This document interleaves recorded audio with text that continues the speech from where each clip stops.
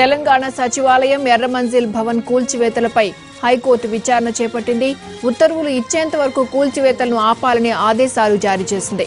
మధ్యాహ్నం రెండున్నర గంటలకు ప్రభుత్వం వాదనలు వినిపించనుంది. కౌంటర్ కోసం గడువు అడిగిన అడిషనల్ అడ్వకేట్ జనరల్ ఇప్పుడు గడువు అడగకుండానే నేరుగా వాదనలు వినిపిస్తామంటున్నారు.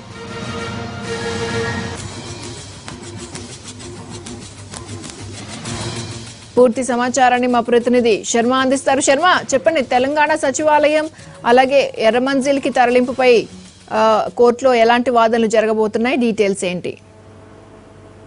తెలంగాణ సర్కార్కు హైకోర్టు షాక్ ఇచ్చింది. తదుపరి ఈ అంశం కోర్టు పరిధిలో ఉన్నందున ఉత్తర్వులు ఇచ్చేంత వరకు కూడా అసెంబ్లీకి సంబంధించి నిర్మాణం ఏదైతే ఎర్రమంజిల్లో జరుగుతుందో అక్కడ భవనం ఉందో పురాతన భవనం దాన్ని గాని అలాగే సచివాలయ భవనాలను గాని కూల్చవద్దంటూ చాలా స్పష్టంగా పేర్కొంది.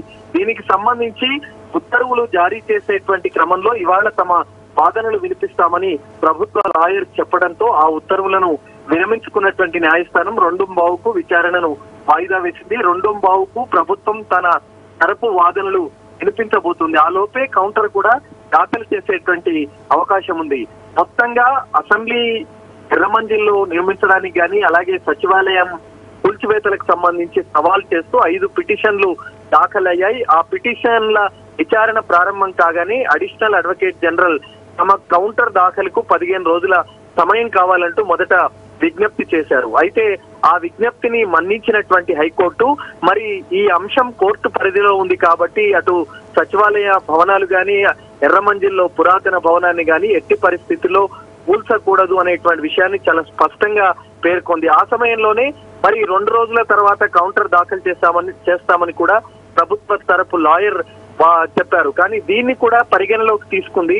మీరు రెండు రోజుల్లో కౌంటర్ దాఖలు చేసినా సరే పదిహేను రోజుల్లో కౌంటర్ దాఖలు చేసినా సరే కానీ అంతవరకు మాత్రం తమ ఉత్తర్వులు వెల్లడించేంత వరకు మాత్రం ఆ భవనాలను ఎట్టి పరిస్థితుల్లో పూల్చకూడదంటూ స్పష్టం చేసింది. దీంతో ఒకంత షాక్ గురైనటువంటి ప్రభుత్వ లాయర్ ఇవాళే తమ వాదనలు వినిపిస్తాం.